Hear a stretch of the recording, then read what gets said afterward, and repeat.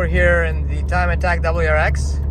Our last, coming back from our last session uh, of the season for Time Attack, and I'm not sure you can hear that noise, but I heard a bang and then the front diff is gone. So uh, I guess it's uh, time uh, time to swap in that STI transmission, and uh, we found out the limit of the WRX one. Welcome to day one of our disassembly project for the WRX. So, uh, we're underneath the car. We've got a couple of things on the floor here. You can see this beautiful titanium exhaust from Calm uh, that uh, just momentarily is going to come out of the car. And uh, this is all in preparation for dropping in the new uh, STI transmission. So, the WRX, um, the R160 diff is going to come right out. Uh, we're going to keep this brace in there because it bolts on to the, to the STI diff. So this is going to come out, the drive shaft is going to come out, and uh, even before we get that out, we need to drop our downpipe, which uh, if it's been in there for a little while, it could be a little bit challenging. Uh, rusted bolts and rusted nuts are a Subaru specialty. So anyways, we're going to drop this bad boy out, uh, and then we're going to get finally to the transmission. So this is where the real fun begins.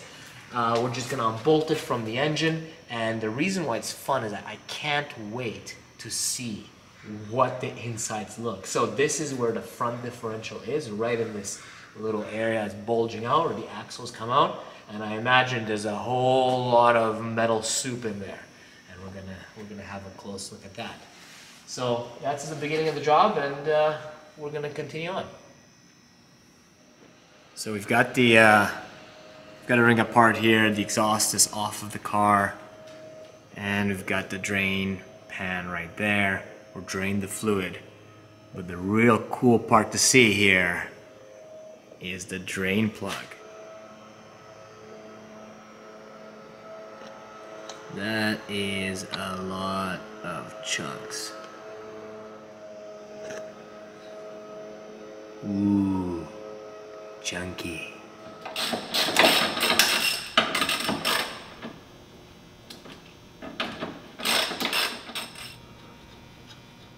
So the transmission has finally come out. These dowel pins up in here just proved to be a little bit of a challenge. So you need to to really uh, you need to really wiggle this uh, this thing out. Uh, it really helps to have a lift or fortunate to have a lift here. But if you're doing this on the back in your driveway, yeah, you might need a lot of wiggling. Make sure you got a few buddies. So this is still the, the OEM WRX clutch. We're about to pull this off and we're about to, uh, to pull the flywheel off. And now here are the two transmissions side by side. So you can clearly see, even from here, the massive size difference. So this is the WRX transmission and then this is the STI transmission. Obviously the, the shifter is still attached to the STI transmission because this one's uh, this one has the cables for shifting but wow what a difference in terms of size and what a difference in terms of strength. So now we're about to pull the clutch off, replace it with a new STI clutch and uh, just prep this tranny and drop it in. So we've got the axles out of the uh, WRX now and uh, here's a little comparison between the two. So you can see right here is our uh, WRX front axle and just behind it is the STI one and you can see that the, the STI one is shinier but larger as well and the difference is even more dramatic when you look at the rear axle, this one being the STI and this one being WRX. So clearly the STI is a much beefier shaft. And here are the two differentials. So you got your STI R180 and your WRX R160. So you can see and appreciate the size difference between the two differentials. So there's our WRX diff, it's sitting at 52.4 pounds. So our STI diff is sitting at 57.4 pounds gaining five pounds just in diff alone. Here it's kind of neat to see the differences between the uh, STI and the WRX flywheels and uh, clutches. So on this side we have the STI, the new stuff going in, and on this side we have the uh, the WRX. So just hovering over them, uh, obviously one's more worn out than the other, but the flywheel surface area where the clutch disc, um, well the clutch disc makes contact is actually the same uh, between the two. And then, of course, the friction surface area on the clutch discs. Again, this is the, the new STI, and that there is the WRX. They are pretty much the same. So, and our, uh, in spite of our time attack uh, with this WRX clutch, it's quite a stout unit because there's there's really hardly any wear on it. It looks pretty good. And uh, obviously we have to go for the new STI one, the Exedy unit over there. But otherwise, looks like this had a lot of life in it and even the flywheel surface looked quite good.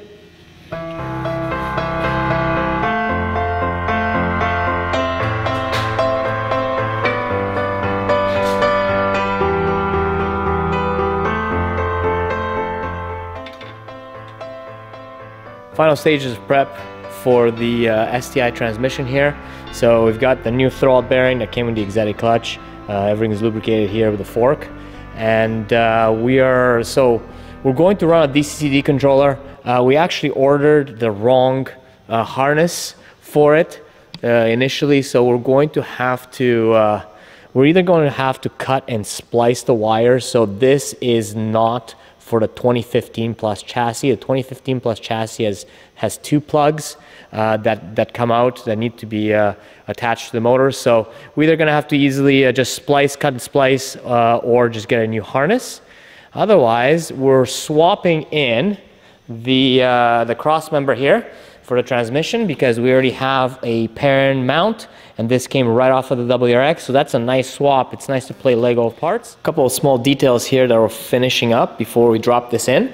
So one interesting thing to see side by side is the shifter assembly from the WRX right here and versus the shifter assembly from the STI right here. So what you'll see is that the STI's uh, shifter assembly is obviously attached to the transmission directly, and that gives it that that uh, that nice positive feeling that that a lot of people like about the STI. Whereas WRX, well, the shifter assembly because it's cable, it actually comes out um, from from the chassis of the car, and although it, it looks the same, um, they are uh, they are functionally very very different, and that's one of the things that yeah a lot of people really enjoy about the STI. And here is our STI shifter in action. Oof, such such a nice. Uh, can't wait to drive this thing. It's very nice and tight. Very nice and tight. This car should have come with this transmission as an option, I think. So many things are now coming together underneath the uh, Fasti. So the drivetrain is fully in. We used the, um, the STI axles in here, both front and back. This is this is pretty easy to all drop in. It's all nuts and bolts at this point. Uh, the rear differential is inside the car. So this is the STI differential here and uh, it all bolts in with absolutely no issues. We reused our, our brace that we had on the WRX, the STI axles in there. We're not gonna have the temperature sensor hooked up on WRX, but that's not a big deal. And now we started buttoning up everything else. So the exhaust, a nice titanium exhaust and our J-pipe uh, is coming back in. And uh, one thing that you're going to have to do a little bit of fab work is, is just on this hanger to, to uh, brace the, the J-pipe. So that's not going to be too bad. And we're just going to jump right on that and uh, getting the fluids, um, the clutch bled, and, uh, and the fluids in the transmission.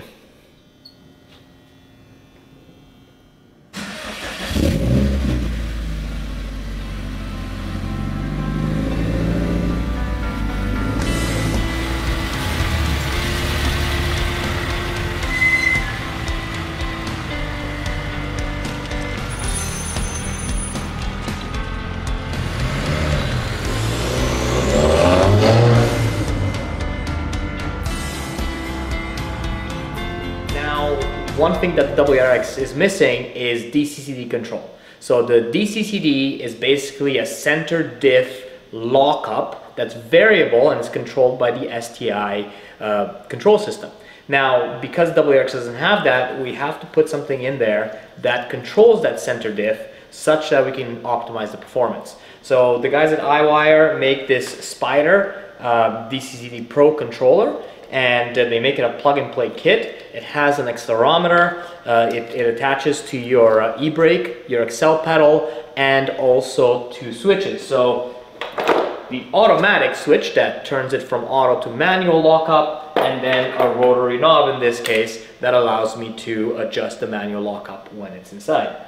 So this directly controls the solenoid in your transmission and it allows, like I said, the variability of the center diff lockup. So let's drop this in, see how it behaves and fine tune our STI transmission a little bit further. So we've got, we've got the controller here. It's, it's a pretty plain, plain box with the accelerometer attached to it and a couple of, uh, a couple of connectors here that we're going to be plugging into the harness. So from the transmission side, we've got this, uh, this three-wire connector. This is what drives the DCD solenoid. And then we have this harness that's supplied, and this harness basically connects a ground. It connects your, uh, your e-brake right here, this brown wire, and then uh, you've got your, um, your accelerator, accelerator pedal position. So we're going to grab that right from the pedal in the 2018 WRX. So other than that, you're just going to be mounting it inside your center console. We found a really good spot here right right uh, behind the, the rear cubby in the WRX and we're going to be putting the accelerometer right in the center because uh, that's uh, that's what it where it needs to be to make sure that uh, that it, it picks up yaw of the car accurately. So this is supposed to be a really easy install, right? That's that's the famous last words. So we are uh, mostly disassembling stuff. We have the wiring harness um, in here for the DCCD. We've got the knobs and the push button nicely installed in here. So this is the, the manual control, uh, nicely done there. And this is the auto on off. Everything wiring wise is done except for the, um, the accelerator pedal. It's not actually accelerator pedal. You need to get it from your electronic throttle body. And uh, that signal, that blue wire signal, so it's actually right, right in there. You can see it, but we have to run it into and underneath here. There's a there's a grommet. We have to run it through there, through the firewall, and back into. This is the ECU connector that you want to do it to. You have to remove the ECU. There's two bolts that hold it together. This is the ECU connector. There's the blue wire, it's position 17. So we just need to run that, that wire now through the grommet into the engine bay and attach it for our signal from the electronic throttle body. The Subaru is all buttoned up finally. Did it this evening. You can see that you got the center console, it rings together. We've got our, uh, our DCCD in there and um, it's, it's about 10 p.m. right now, and I'm on my way to ice racing. So it's a time trials on the lake on ice. Uh, I can't wait to try this STI drivetrain and uh, and the new DC controller on ice. So uh, yeah, let's see how we do tomorrow. Now I just gotta get to the destination. I've got another about 60 miles here. Uh, we're we're at a stop where we're waiting for a pilot car there to uh, to proceed in the canyons. So it's a, it's a beautiful drive. It's just dark right now. And uh, once I get there, get some rest, and tomorrow morning we'll be fresh to see how we do on the frozen lake.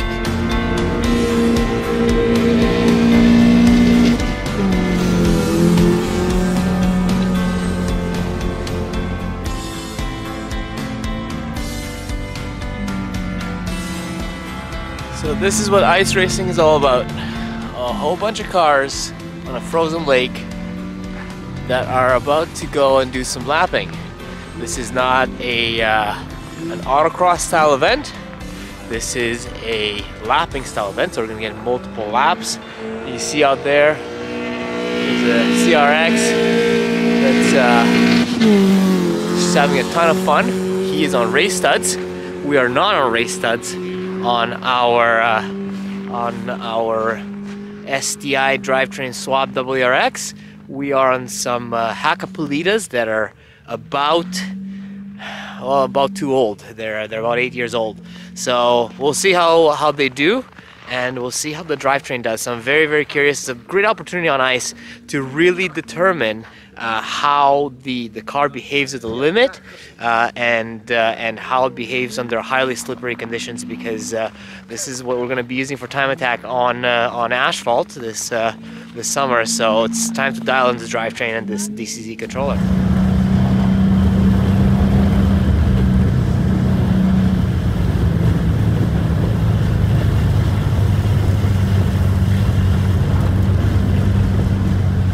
First day of ice racing is in the in the books.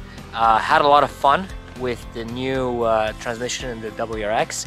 So it does offer um, a lot of grip and a lot of potential. Uh, we have rubber tires on ice, so uh, the, the, key was how to set this up so that it could, the car could move around and at the same time have have traction.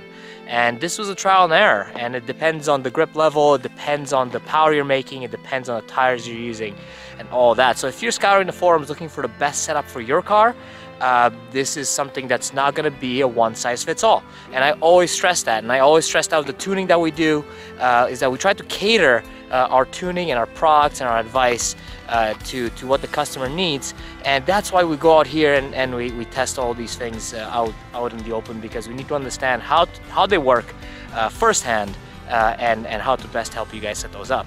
So you're wondering why I'm not around a car? Well, because our ice racing lake is, is somewhere down there and uh, just took a little hike up here. So look, look at this beauty, natural beauty. We're so fortunate to be surrounded by this, uh, this natural beauty, be able to race here, be able to enjoy it. So tail end of winter and there's still snow on these, uh, on these hills and on these mountains uh, here in, in BC.